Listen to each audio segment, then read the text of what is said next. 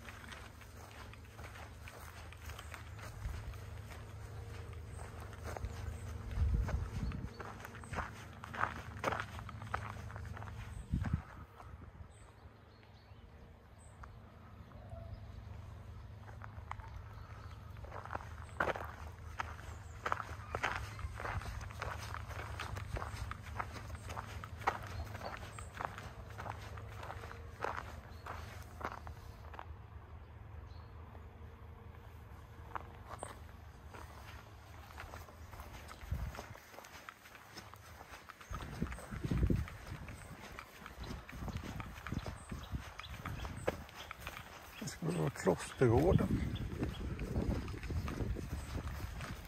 En trädgård här.